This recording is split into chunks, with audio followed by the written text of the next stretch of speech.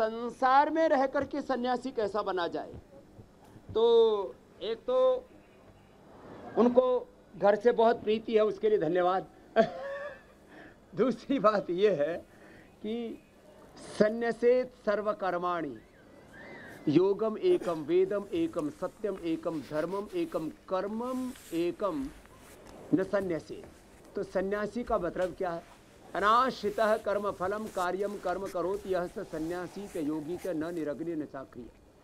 सारी अविवेकपूर्ण कामनाओं, तृष्णाओं, विकारों को त्याग करके और एक घर परिवार के लिए नहीं, सबके लिए जीना, ये तो सन्यास का बड़ा तत्व है जो मैंने अभी कहा कि हमने जो आज ये योग का, आयुर्वेद का, स्वदेशी का, जो भगवान ने हमसे कार्य करवाया, अब शिक्षा की, चिकित्सा की और सांस्कृतिक सनातनी संस्कृति के वैश्विक प्रतिष्ठा की ओर, बड़ी क्रांतियों की ओर हम आगे बढ़ रहे हैं। तो संन्यास का एक बड़ा तत्व है कि बुरी कर्मों से, बुरी आदतों से, बुरे स्वभाव से, बुरे आहार विचार से, बुरे वाणी व्यवहार से, स्वभाव से, संबंधों से मुक्त हो जाओ। तो एक तो यह हम सबसे रोज योग कराते हैं, इसलिए उस प्रक्रिया को जारी रखे हुए हैं।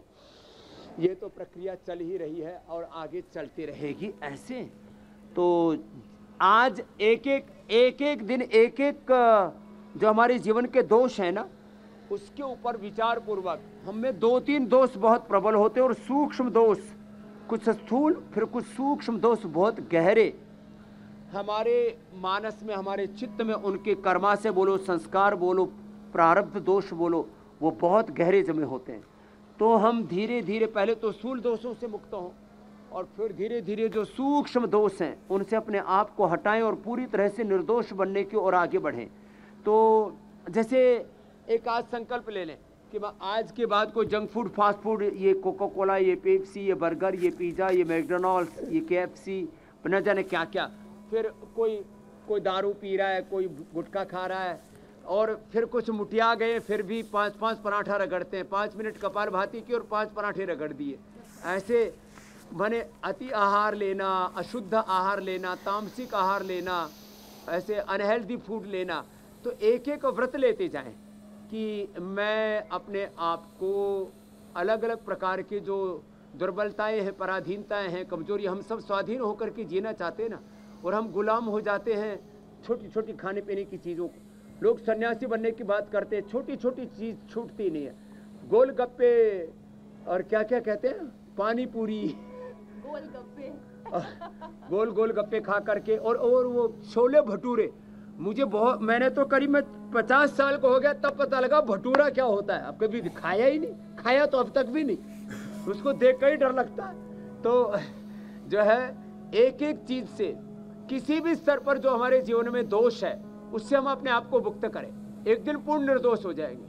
आहार, विचार, वाणी, व्यवहार, स्वभाव, संबंधों के स्तर आचरण के किसी भी किसी भी घटक में मनसा, वाचा कर्मणा हम अपने आप को जैसे जैसे निर्दोष बनाते जाएँगे तो संसार में भी रह करके संन्यास हमारे भीतर घटित हो जाएगा, उसको हमारे ऐसे महापुरुष कहते हैं। बाहर से संसार, भीतर से संन्यास। हमारे भीतर जब ये सब बुरी चीज़ों से मुक्त हो गया, अच्छी चीज़ों को थोड़ी छोड़ना सद ज्ञान को, सद्भावों को, सदगुणों को, सत्कर्म को तो खैर, ये सन्यास का व्यवहारिक दर्शन हमने आपको दे दिया।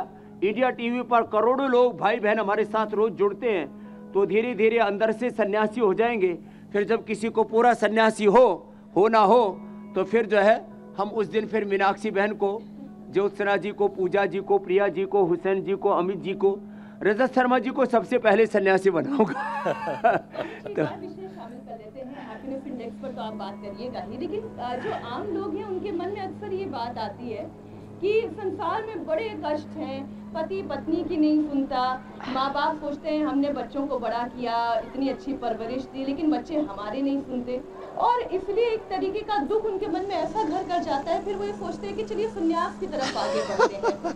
तो ये थोड़ा सा बताएँ कि एक तो ये हैप्पीनेस इंडेक्स ये जो खुशी है ये खुशी का मूल मंत्र क्या है? तो देखो मिलती है? खुशी हमारे भीतर है। योग का अध्यात्म का न मूल सिद्धांत है, आत्मा वारे द्रष्टव्य, श्रोतव्य, मंतव्य निधिध्यासितव्य सारा स्वास्थ्य, सारा सुख, सारी शांति। We have unlimited happiness eternal happiness in our self हमारे भीतर ही है।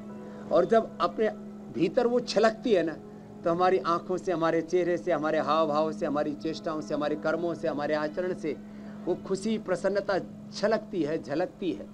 और वो भीतर से अभिषिक्त हो जाता है, परिपूरित तो हो जाता है।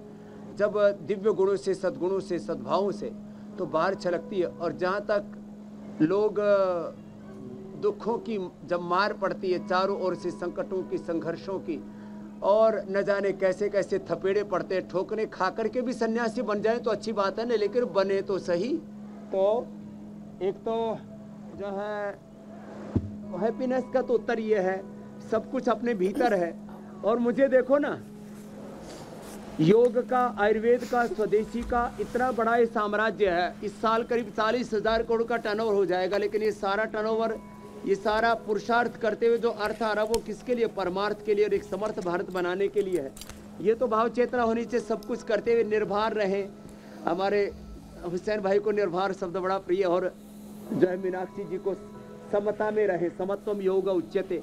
और इसी को कुशलता कहते हैं। This is the ultimate skill of life कि ये सब करते हुए हम किसी भी तरह से परेशान ना हो, अशांत ना हो, दुखी ना हो। और योग का पैकेज तो मैं पूरा कर ही देता हूँ। रामनवमी हो, होली हो, दिवाली हो, वार हो, त्योहार हो, हमारा योग तो पूरा जारी रहता और जो ये ना कर सके, सर्वांगासन, हलासन, शीर्षासन तो वो मीनाक्षी जी की तरह अनुलोम विलोम कर ले। हमारे सारे सन्यासी भी, चलो एक बार शीर्षासन लगाओ रे महापुरुषों।